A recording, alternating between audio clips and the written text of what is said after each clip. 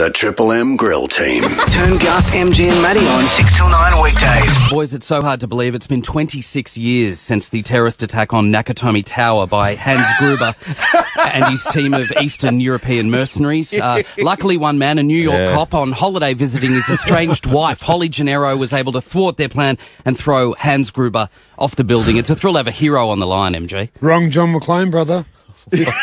Wrong John McClane. This this is Oh, this isn't Bruce Willis. No, mate. Oh. This is the this is better than Bruce Willis. This is the Willis. real This deal. is the real deal. This bloke. This uh, 1985. I went to grade at Penrith, and I went along with this young bloke called Johnny Maclean. He was a flashy outside back, uh, centre wing fullback, very very fast.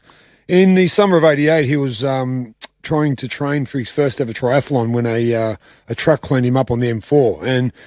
Not only was he lucky to be alive, but he went on from that to swim the English Channel. He went in the Hawaiian Ironman. He's uh, Olympian. But I, I, I class him as a, a really good mate, and I welcome him to the grill team. G'day, Jay Maclean. G'day, Mark. Good to good to hear you, buddy. Abnam.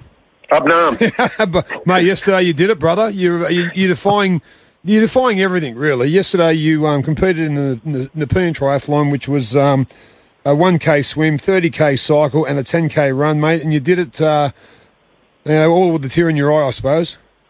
Mate, it was very special to uh, to cross that finish line after 26 years. As you know, training for that triathlon when I got hit by the truck. So to have that special moment to cross that finish line with my beautiful wife Amanda and my son Jack holding hands, and to have that all those people there clapping and cheering, it certainly made many tears. Um, it was very emotional. John's, John, I was with Phil Kearns last night. And he told me it was probably the emotion, the most emotional he has ever been at any sporting event. The fact that you ran the last 10 k's, you hadn't done more than four k's. He told me beforehand, mate. Amazing. How's the body this morning? Um, I have to say, I was walking and walking very slowly with uh, carbon fibre uh, leg braces and walking poles. So I'd like to say running one day. So um, yeah, having Kearnsy there was, was spectacular. And I mean, it just sort of taking you through the day with uh, when I did the swim. I looked on my left and there's Kai Hurst, and on my right, it's Craig Alexander, who's won the Hawaiian Ironman three times. And then we did the bike, which was you know fantastic to roll with my buddies after 26 years, and to have um, you know Freddie and Spud and all these guys helping us out, Jana Pittman, and it was really really special. And having Kearnsy there as well. I mean, he wasn't the only one crying. I was crying for the last two kilometres, so um, it was it was a special moment. Hey, John, mate, they say adversity brings out the best in the in the human spirit, um, and you went through one of the most difficult you know, things that anyone will ever go through when you got your career ahead of you, and all of a sudden this horrible accident robs you of that uh, opportunity. What were you like beforehand, and what has that adversity done for you now? Well, I think I was an I think I was an average football player. You know, I loved the game, and um, you know, didn't get a chance to play first grade. wasn't good enough for that. But um, I guess you know, after getting hit by a truck, um, you know, I started to look at a couple of things. One was that when I was in the spinal unit, uh, the other three guys had broken their necks, and I'd broke my back. So I was I was lucky to be alive, and lucky I could still use my upper body. So I thought, never have uh, the audacity to feel sorry for yourself because there's always people worse off.